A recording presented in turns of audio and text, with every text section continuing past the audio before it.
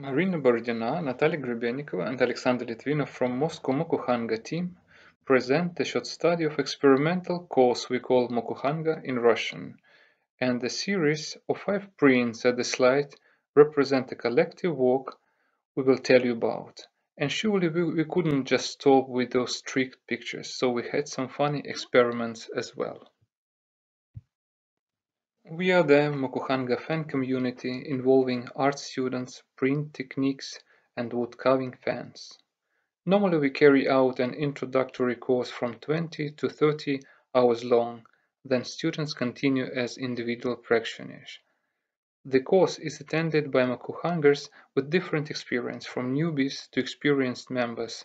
One class is normally 3 hours long, sometimes it can be as long as 6 hours. There are very few Mokuhanga fans in Russia, and before we began our courses in 2016, there were no Japanese washi paper, wood blocks, and tool supply. Surely last two years of pandemic limited all traveling, which was our best way to bring tools from Japan. This is why we always combine traditional materials with those tools and materials available in Russia. Thus, we had a task to develop a short course combining attendees with different experience, providing tasks to rapidly develop basic carving and printing skills, suggesting a format interesting and challenging, fitting to both beginners and advanced students, using individual experience and creativity of students, providing them with opportunity to participate in collective art project. Mokuhanga is a very promising technique for teaching students, since it combines both wood carving and general techniques of engraving and printing. We appreciate using safe and non-toxic materials and applying no complex equipment. The ability to do artwork with own hands, with no help of computers or machines, becomes a rare occurrence and therefore it's really pleasant for many students fully engaged in modern digital world. We combine widely available local tools and materials, carving knives and chisels, limewood blocks, as well as local carving techniques with Japanese classical techniques. Practicing mokuhanga helps even novice students to work deliberately with sketches and drawings, improve carving skills, and deep understand the principles of composition. And our first aspiration is the following. We have noticed that the idea to combine blocks from different authors is very inspiring for students, stimulating the desire to experiment and act as a team. This approach allows people with different drawing and carving skills to participate in a final work with fantasy and courage, combining applied art, folk craft, contemporary graphics, and printmaking. Mokuhanga is not taught in Russia at art schools, but there are an interest from students and therefore attempts to create woodblock prints.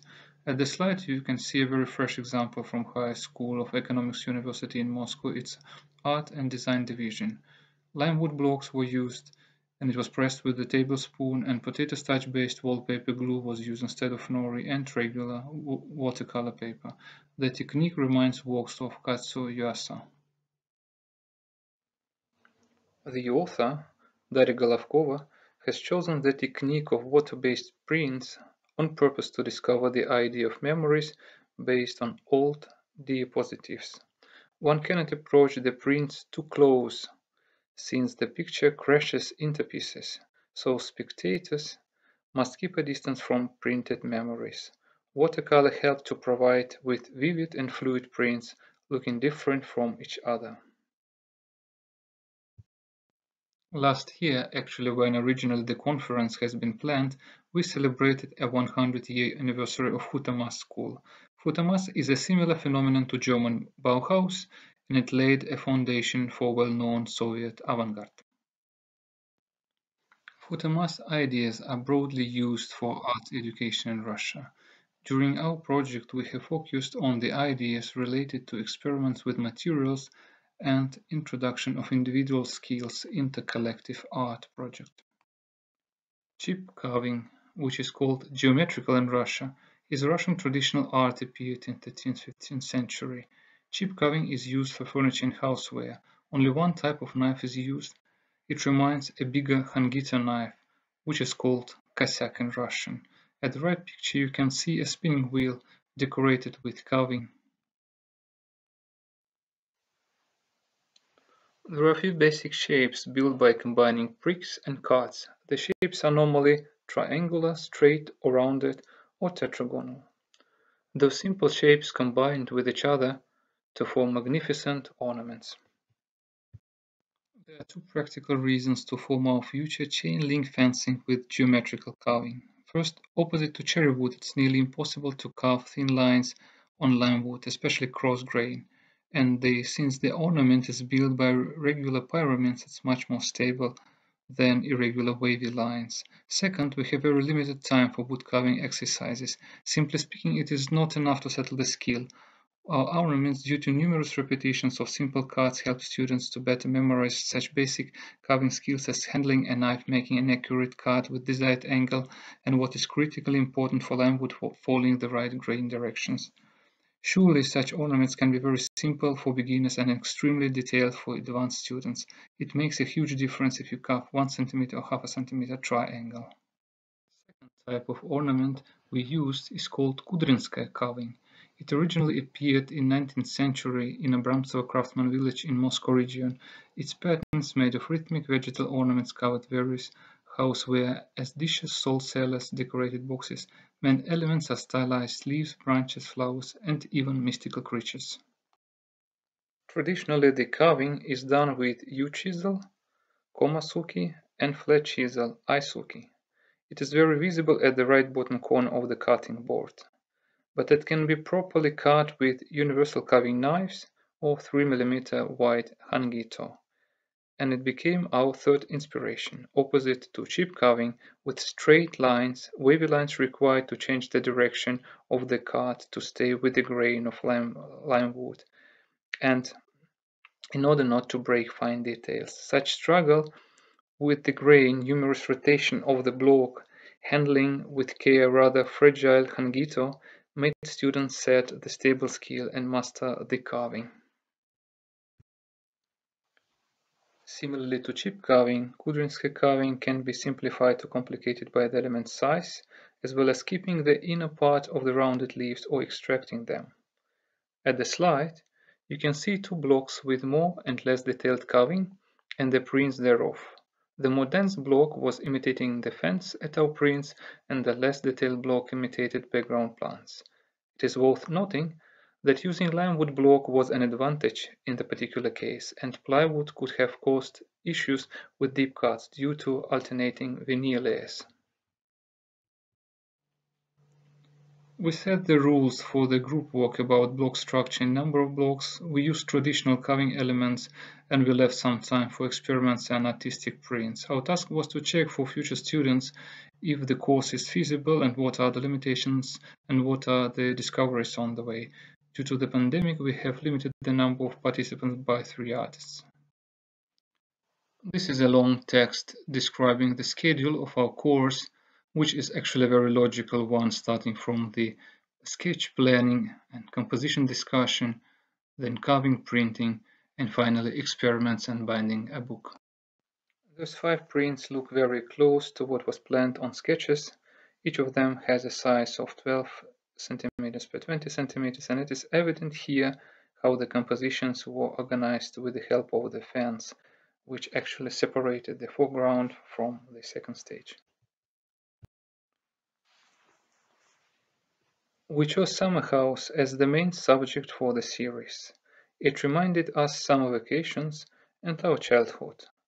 Dacha, similarly to, to the word Sputnik, is a very well-known Russian word internationally which means actually a small land plot, normally 600 square meters, and a summer house there. The house is often self-built and that surely influences the shapes a lot and we'll talk about that later. Nearly half of Russians spend their every summer weekend at dacha. It is a very traditional way to organize weekends and vacations. The pandemic activated dacha life since it became the best place to hide from infected urban areas, despite villages were less organized for home offices. We tried to mention all elements of the typical Russian dachas, including houses with veranda, gardens, water tower, dovecote, and garage. Sumi ink provided us with an opportunity to imitate black and white old pictures, and combining blocks generated dozens of pictures with a very different and at the same time having so much in common as real dachas when one passes them along. They look very recognizable for Russian eye and we remember those views as they have been built by our parents and grandparents. We have tried to fulfill our prints with Russian flavor using traditional carving designs and as well as architecture patterns of villages and summer houses surrounded by a landscape. We believe visiting such villages can be really interesting for travelers. It will help them to find out much more Russian character and way of living than a stay in city centers. Decorated outer window frames are called nalichniki in Russian language. They used to be an important differentiator between village houses in terms of owner creativity, wealth, and disposition to accuracy and design. The fence which helped us to organize the composition can be a separate research topic, since it is an indispensable part of every garden, and looking at the shape of, of the fence one can say the age of it. Wooden lath fence belongs to 60s 70s and the steel chain link fencing belongs to 80s and 90s. As we mentioned before, experiments with combining blocks, floating kento, bigger paper formats, and even folding the paper were very inspiring for us. We mentioned that dacha houses are often self-built and they have verandas. And the veranda is often built later due to economical reasons and it makes the shape of the roof very broken. And verandas are participating in active life during summer and they are empty in winter, keeping the cold air from getting directly to the house. It might be strange to mention that, but Mokuhanga has never been designed for Russian landscape. We viewed numerous Bokashi gradients at the Fuji mountain prints, at classical Japanese prints, but it was quite a creative task to find textures and color intensity for local gardens, buildings, and even sky. These are experiments with folding paper. It requires some fantasy to keep the white frame intact. Spectators have a chance to imagine either rainy weather or own memories about summer stay at the house of your friends or relatives of us driving along the village streets, although not all dacha roads would allow that. Numerous experimental prints allowed us to bind together a mini accordion book which reminds a small table folding screen. Moving along pages may remind a real walk along a dacha street. At this slide you can see the book printed from block combination on the paper format which is twice bigger than original sketches and blocks.